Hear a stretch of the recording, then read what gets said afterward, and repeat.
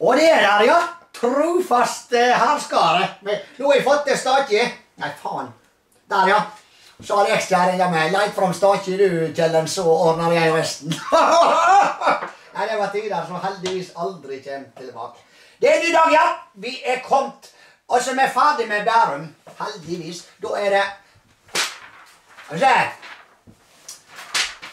Og det, og det er Sogndal! Ramlhakke! Det er Sogndal! Sogndal! Skal vi se. Ja, Og saft, altså det er saftbygden Sogndal. Der lager de eh, saft og, og sylte og hele forbanna drittet. Og de er fotballag. Det er Stone på, det er superlaget Sogndal.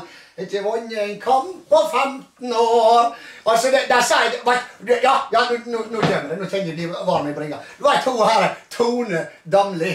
Hun er jo derifra. vet du. Steik for et, et, et smørekoffert, altså. Fy faen!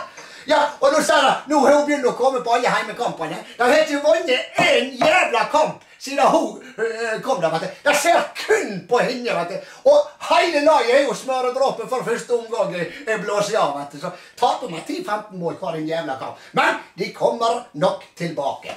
Eh, en annen ting Var det en liten kaffe? En annen ting som de sier Jeg snakket med en gammel bonde. Han sa det til meg at har vi problem med, har vi problem en, en høst med å få, få det til å blomstre der inne og styre oss til, da får de bare Tone Damli litt uh, lettkledd i kabriolett til å kjøre gjennom dalen. Og så slår de seg opp alle tre. Da. De leverer plommer altså, som har vært et uh, ja, maskineri. Nei, dette der er meg. Og så en mann som de ofte ikke treger fram der inne, som de er mindre stolt av, men som var også en mann eh, for landet. Det var han her Gjest Bårdsen. Ja, kom, skal de høre en vise om Gjest. Han lærte laget av lensmann og prest. Han stjal rent alt ifra Byrkjelo og helt inn til Sogndal annenhver dag i, i, i, i, i årevis. Nei, Saftbygden Sogndal er kommet for å bli. Jeg kjøper gjerne tilbake. Jeg For ofte dit med pensjonister og hiver av i to-tre timer så får gå på disse to butikkene som ligger helt nede i fjørsteinene. En meget god dag ifra Kjellen. Hei!